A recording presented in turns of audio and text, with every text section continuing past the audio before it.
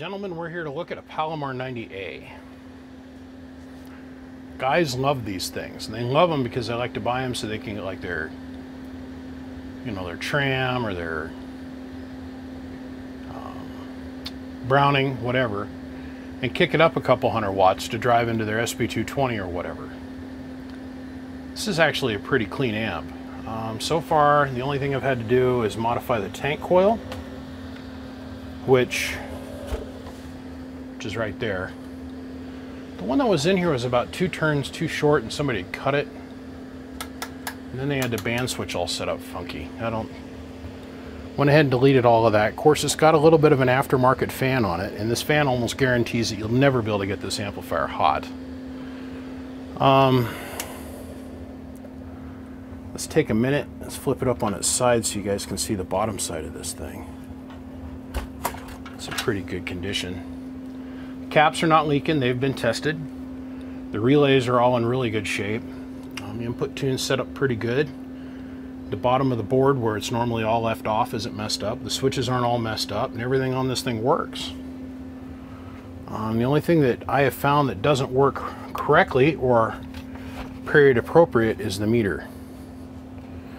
And we're not going to even get into that, but the light bulb was burned out, so um, let's see here output. We've got it in high, function operate, sideband.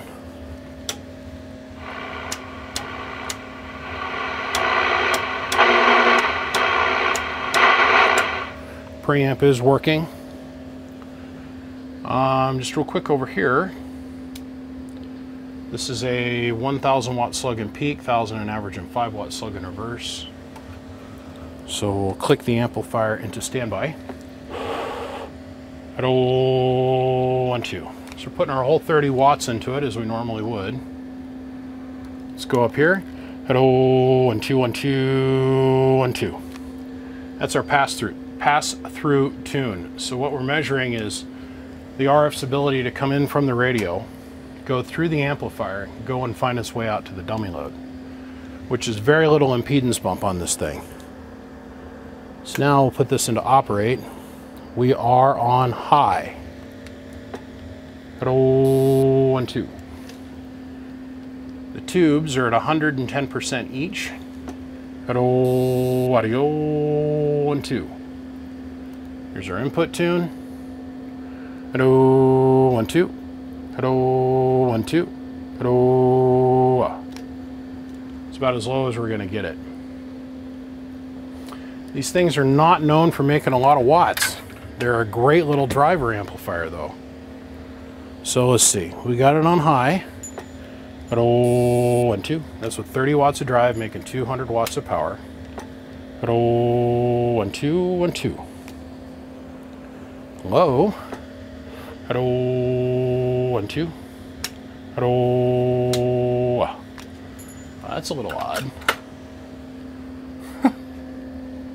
that is definitely odd seeing slightly more power out of it on low than we are on high. Most of these Palomars, the way they work, is they'll drop out the driver tube. Well, that's not the case with this one. See if I can do this and not get shocked.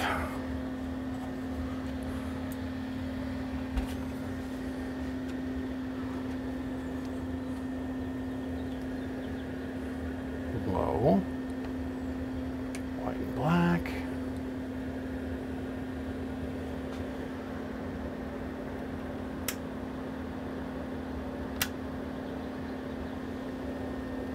Did I get the leads backwards? Somebody soldered the leads on backwards. Hold on. Well, that was fun. okay, so now on low, 180. High, solid 200. God.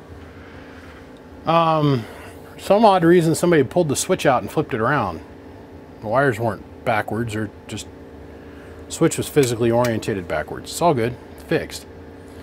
Um, let's see here. Sideband delay. AM.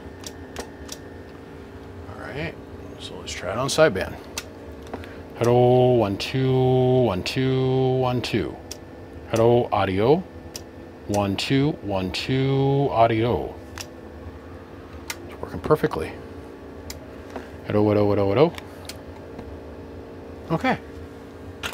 Well, as you guys can see over here in the corner, I have some rubber feet set up for this thing.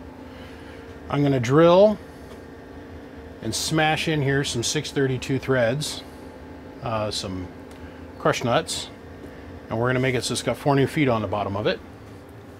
Because I don't want anybody's countertop get scratched or the top of their piece of equipment or the shelf they set it on. Um, it's got two feet on it now. This is one of the feet that was on the bottom. It's all messed up. So we're to throw that in the F-it bucket. So let me get the feet put on it. But the tin on this amp is in really good shape. So I'm excited. I think somebody's going to be able to use this as a driver. And it's going to... I think it's ultimately just going to work out to be a really good thing all the way around. So let me do this, get the tin on it, and we'll come back and wrap this up. Well, it's a 90A. It's a white face. I got one more of these I got to do. It's a blue face. It's a light blue, like robin blue face 90A. The only one I've ever seen like it. Not saying it's rare, because it's, well, it's not, but I think honestly what we're going to ask for this is $200 plus the ride. And it's like 30, 40 bucks. These things are really super light. Whoever ends up buying this, you need to know that you're going to have to take the lid off because I've got the tubes encapsulated in foam in here. Encapsulated in foam. So you have to take the lid off, pull the foam out before you can go and use it. It's very straightforward. It's a good little amp. It needs to go find a new home. I don't care where it goes, but it can't stay here. So at this point, you guys know the drill. Feel free to call, text, whatever you got to do to get my attention but this thing is ready to go to a new home. So on that note, I'm going to say thanks to Patreons, thanks to XS, Siglent, McMahon, Berg, Coaxial Dynamics, and especially to all of you guys out there that are waiting for me to do something other than just deal with my friend's estate. Um, I've got a lot of that coming here this next month. And I still have the big box to go. Can we say 15,000 watts? For stupid low price? like talking maybe 30 cents on the watt.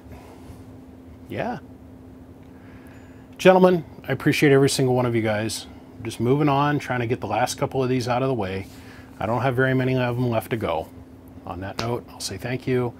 I appreciate you all tuning in and following along, and we'll see you. Click, click.